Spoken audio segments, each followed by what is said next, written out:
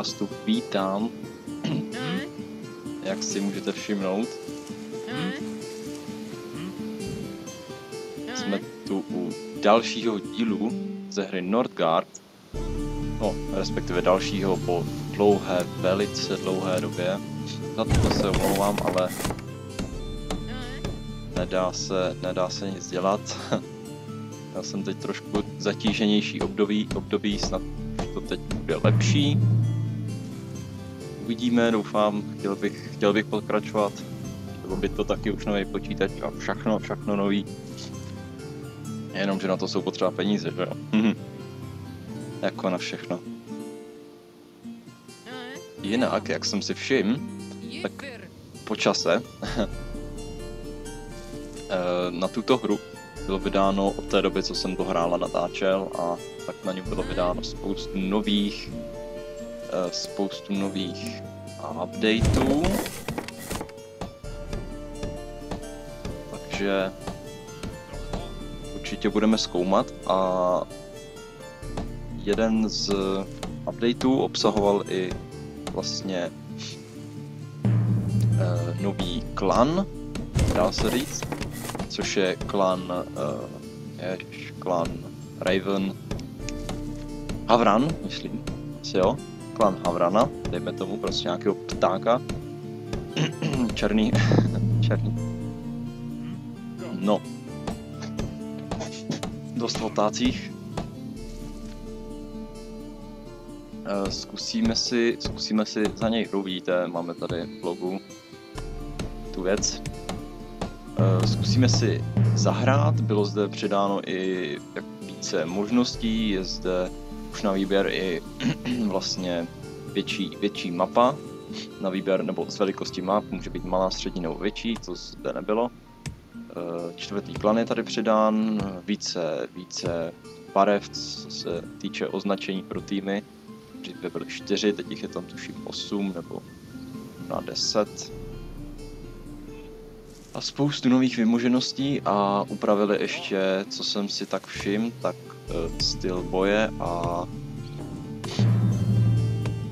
a tak dál, něco se tady prostě, něco se tady, co málo se tady dělo, nebo málo, ono to jako pokračuje, pokračuje to určitým tempem,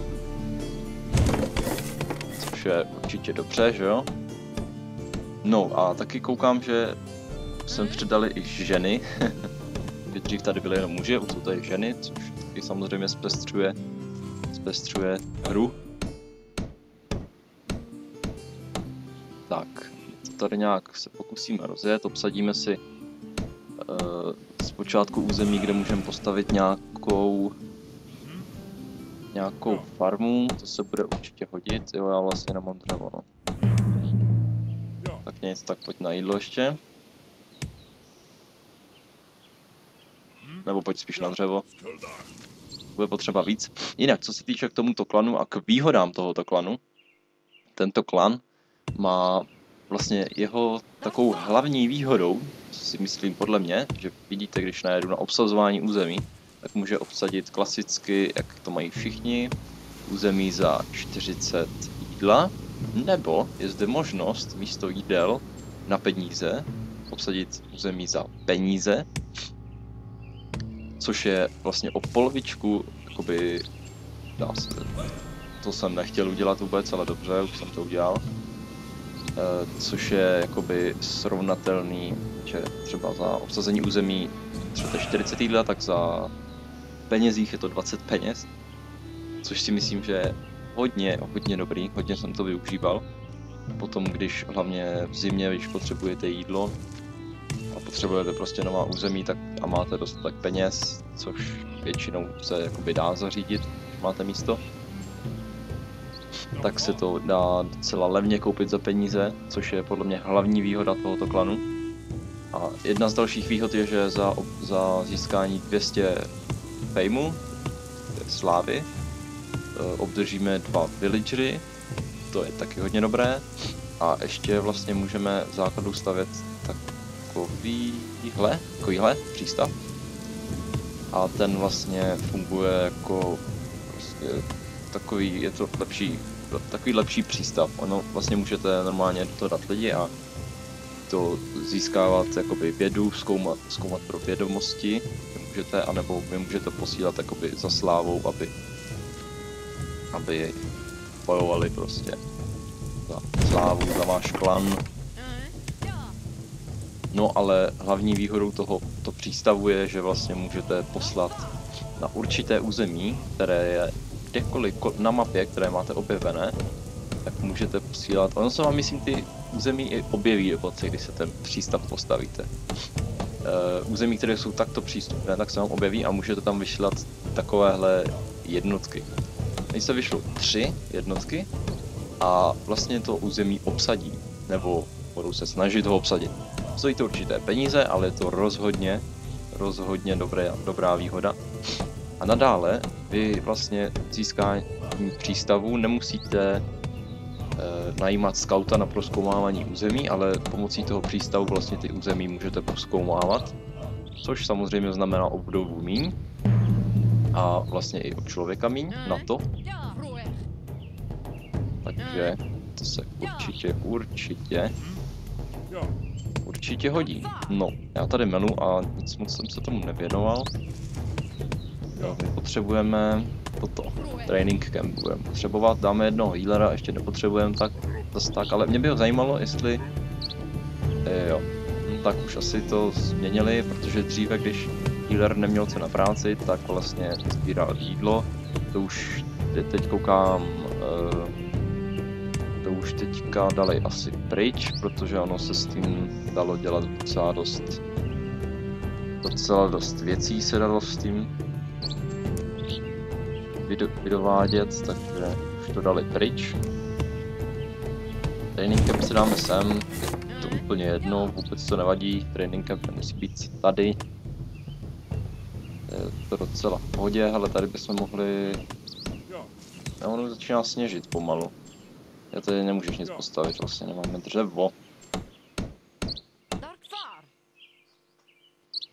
Tak, uh... počkáme na training camp, uděláme nějaké vojáky. O, my potřebujeme barák, my potřebujeme barák. 50 dřeva, tak chvilku budeme bez, uh, bez lidí, bez produkt celý.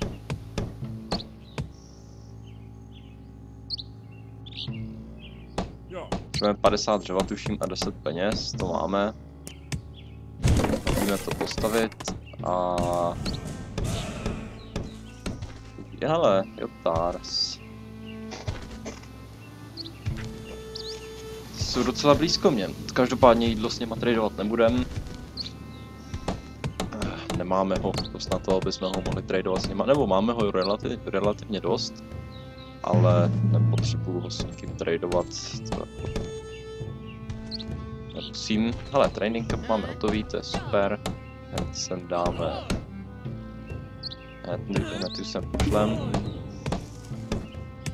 Máme, o, ženskou, je to ženská nebo ne? Sharp Axis, jo, jasně, dáme to. Pak si budeme muset peníze nejspíš, protože bude potřebovat, aby se nám generovaly peníze. Roci to bys teoreticky mohl dát.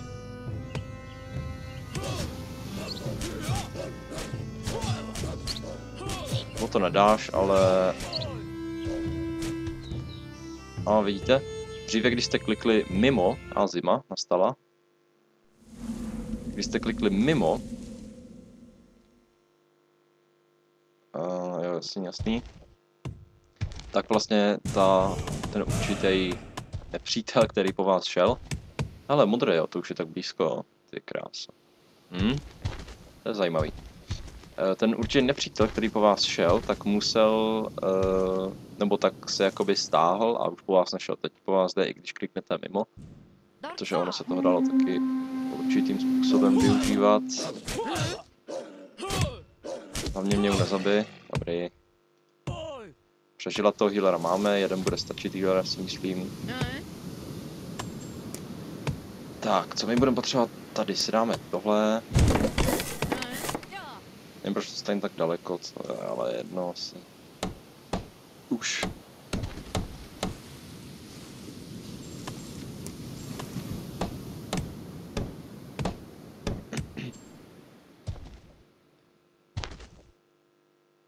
Tak, eh, po zimě, až skončí zima, budeme potřebovat asi další, další nějaké vojáky, nějakou, nějaké, aspoň jednoho, jo počkej, my máme, ne to je, jo.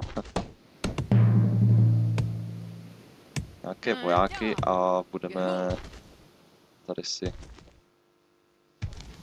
tady si vybojujeme území, zde si dáme eh, tady to, Woodcutter's Lodge, no nevím, co tomu říká, prostě dřevorubci tam budou, protože tady je zvýšená produkce o 20%, pokud se nepletu, 20%. Tak. A co mi tady?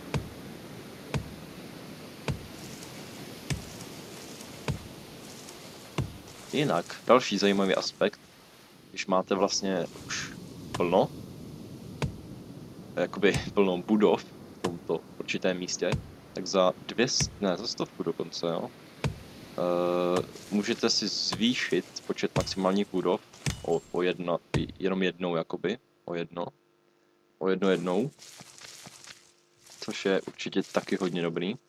Zejména když máte potom už hodně peněz a nemáte moc jakoby místa a místo kam se rozšiřovat.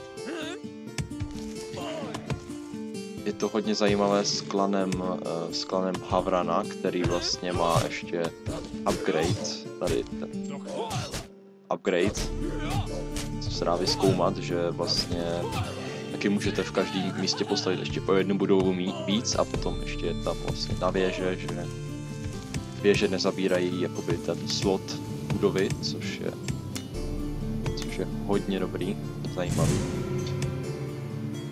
Potom můžete mít strašně moc budov v jednom tom území, tom regionu, když to tak řeknu. Každé můžete mít zdarma věž. Tak, pořád za jídlo to budeme brát, jídla máme totiž teďka dost a peníze ještě neprodukujeme úplně. Ale tady jsou i ryby, tady jsou. Scout was her. Nevadí, po celé 125. Jo, tady je strom. Hm. Nice. Uh, scout se pojď sem. Postavíš mi tady Tvé. Tady je Sherman 2.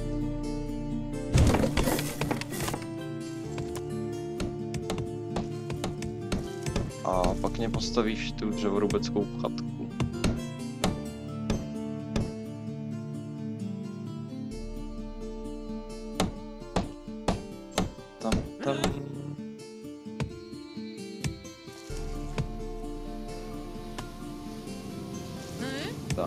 Tak, paráda. Uh, by to mělo hýlit toho skauta.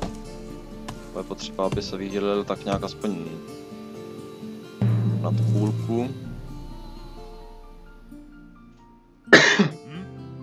Pardon. Já se omlouvám, jsem nějaký, nějaký nemocnej poslední dobou. Zrovna v době maturit. Jaká náhoda.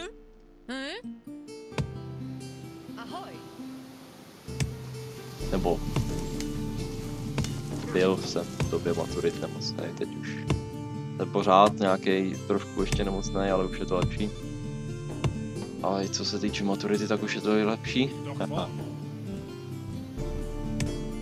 Takže, tak. No, jídla bude mít dost.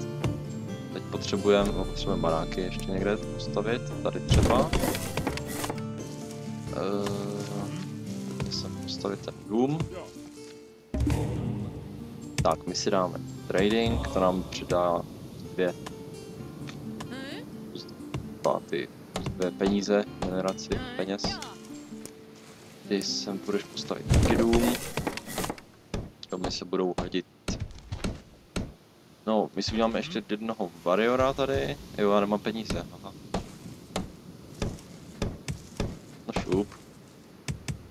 25 jenom. Tak, můžem. Máme nula, nevadí.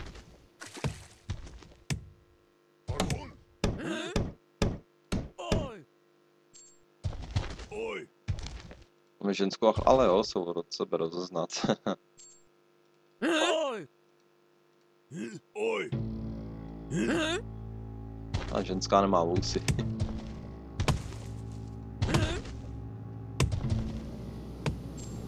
No, to proskoumáme tady, ale tuhle tu oblast si ještě zaberu. Kolik tady je stavěcí? Tady by mohlo jít 300, to je dobrý, to je dobrý. Tři stavěcí místa, to už jako jsem spokojený. Toho zabijou, to je v pohodě. Jich tam až až.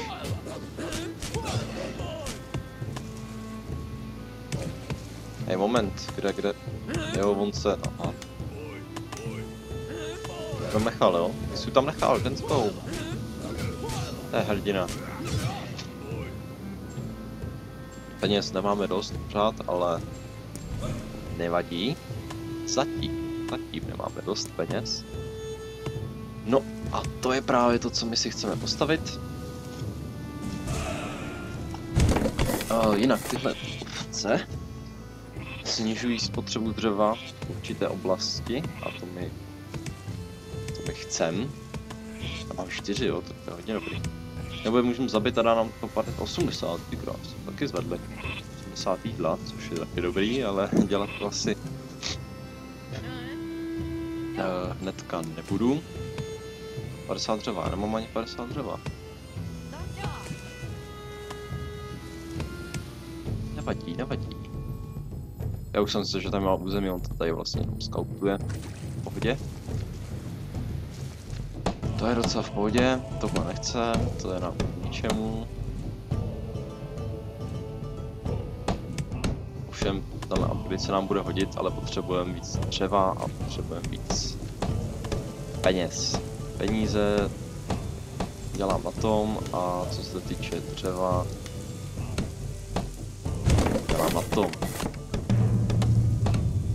A bude potřebovat dřevo na opravu, to není moc dobrý. Zemětřesení a to nám poruší nějaké budovy, ale bych asi dřeva mohl mít dostatek v té době.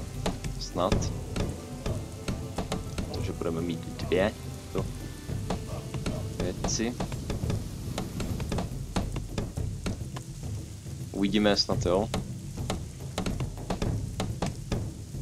No, jinak. Dámy a pánové, já to tady pro tuhle tu chvíli to ukončím.